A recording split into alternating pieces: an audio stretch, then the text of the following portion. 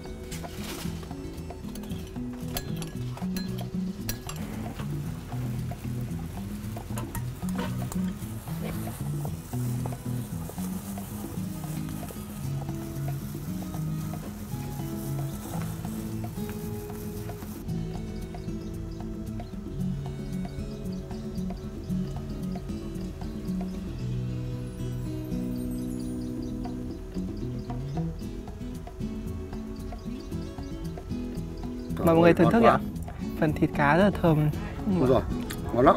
Vâng, thơm Đây là hấp, món hấp gì? hấp nước tương Ừ, hấp tương chin chu. Vâng. Ừ. nước tương này có chiết xuất nấm shiitake ăn rất là ngon mà nó rất là thơm mùi nấm nha Đó đây à? Vâng. Nước tương nấm thì ngon đấy. Nhá. Vâng. Cái nấm nó đậm nước tương này. ngon không anh Ngon. thịt nó chắc mà nó ngấm cái phần nước tương này rất là ngon nữa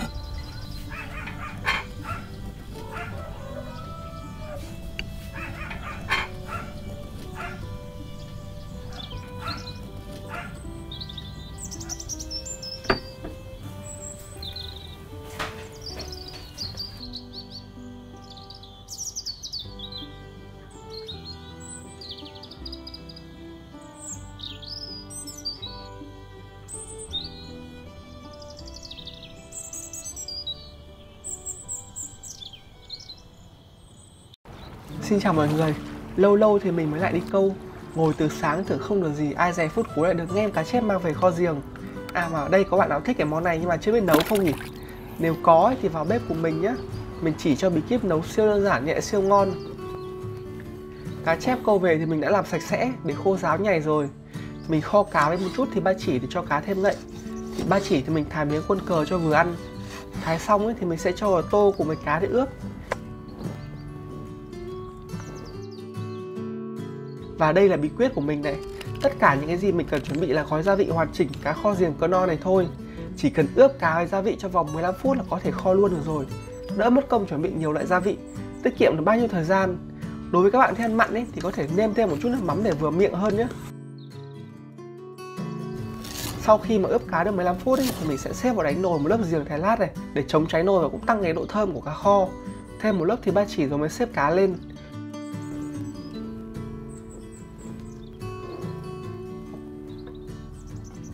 Cuối cùng là phủ thêm một lớp giềng trên mặt nữa. Cho nước xâm sấp mặt cá rồi đun được khi nước sệt là được.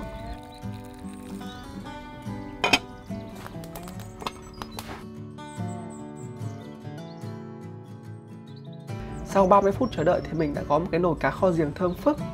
Mặc dù không cần dùng nước màu, nhưng mà màu sắc vẫn rất là hấp dẫn. Trông rất là gì và này nọ. Ăn với cơm nóng thì u là trời, ngon phải biết.